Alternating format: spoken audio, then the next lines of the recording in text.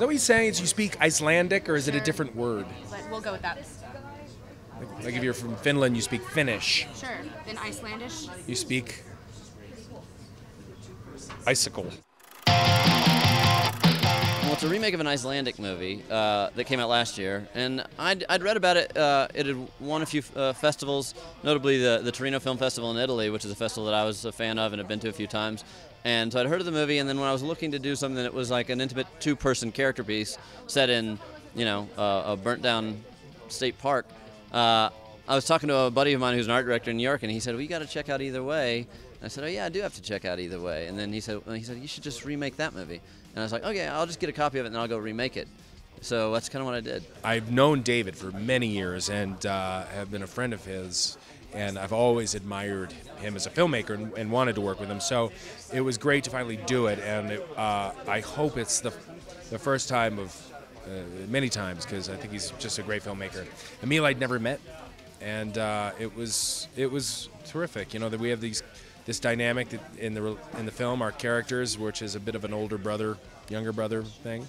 And it felt like that when we weren't shooting too. I think uh, you know Lance is kind of he's kind of like a, a, a dopey, insecure kind of um, guy who's a little bit, you know, he's kind of been partying for most of his 20s, and he hasn't really taken the time to develop himself as an adult. And this is kind of the crossroads in the movie where we find him. He's realizing that you know a lot of the the ways of living aren't working out for him, you know, right now, and he kind of has to shift his paradigm a little bit and grow up. Uh, and Alvin, who Paul Rudd plays, you know, is kind of a very adult, stern guy who has his own flaws, but I think he kind of helps illuminate to Lance some of the problems that Lance has. They kind of they kind of change each other. We're kind of the odd couple. Well, working with Paul and Emile is something I've been wanting to do for a long time.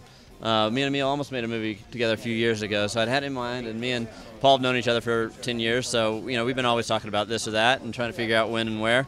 And this just seemed, this seemed like a, a good fit. You know, they kind of fit the, the structure and the character dynamic that we wanted to. I wanted to find characters that felt kind of familiar and relatable, but also we could take them outside their wheelhouse and push them in a direction that audiences wouldn't necessarily expect. So I think you'll feel, you know, see a, see a few surprises with the movie and where they go. And the character dynamic was really fun off camera as well as it was on. And it's just, you know, it was 16 days we shot the movie and just had a blast. Cousin Pete, Uncle Al, and Jack heatedly discuss Superman's new beard and who else could have donned the cape. The Oscars may be Hollywood's biggest party, but every year someone gets left out. Grae Drake gives you 10 films that deserved better.